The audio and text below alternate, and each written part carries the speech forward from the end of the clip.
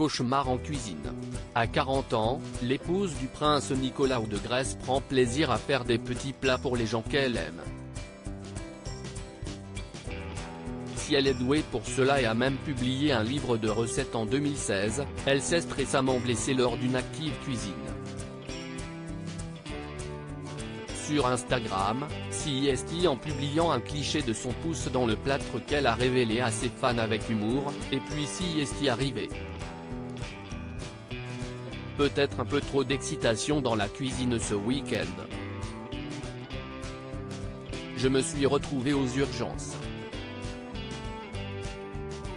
extrêmement reconnaissante envers l'incroyable équipe qui m'a fait me sentir en sécurité alors qu'elle m'a accompagné pendant ma première intervention chirurgicale et m'a mise dans mon tout premier plâtre.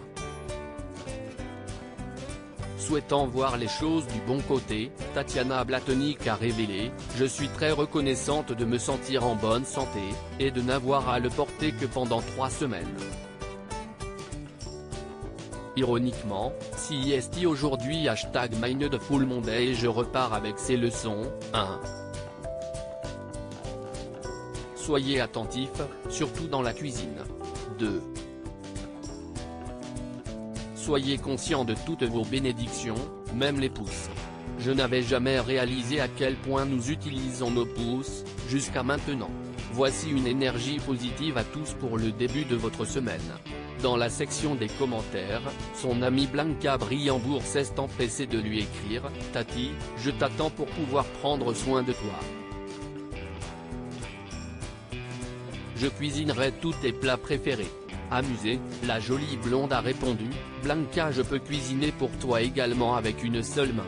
La nourriture est le reflet de nous-mêmes depuis de nombreuses années, Tatiana Blatonic partage régulièrement des clichés depuis sa cuisine avec ses fans.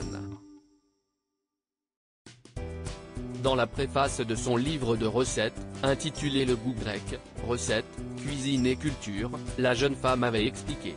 Je crois que la nourriture est le reflet de nous-mêmes, quoi et comment nous choisissons de manger parle de la vie que nous voulons vivre. Déménager en Grèce avec mon mari, le prince Nicolas, a ajouté un nouveau chapitre à mon identité culinaire et m'a permis de redéfinir le goût de la maison. Enfin, elle avait ajouté, en Grèce, la nourriture fait partie intégrante de la culture locale et de l'identité nationale. Les repas quotidiens continuent d'amener les familles élargies autour de la table, créant des liens sociaux et un sentiment d'appartenance.